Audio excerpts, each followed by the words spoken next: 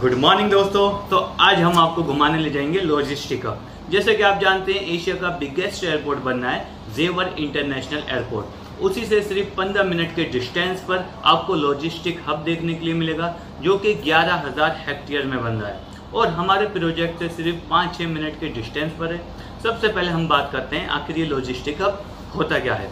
तो logistic hub में माल की ढुलाई होती है। माल एक जगह से दूसरी जगह जाता है। और माल को वहाँ पर इकट्ठा किया जाता है, उसका भंडारण होता है और उसे वितरित किया जाता है और बहुत सारी चीज़ होती हैं। यहीं से यहीं से माल को बाहर के देश में एक्सपोर्ट किया जाता है इंपोर्ट किया जाता है और यहाँ पर माल को तैयार किया जाता है।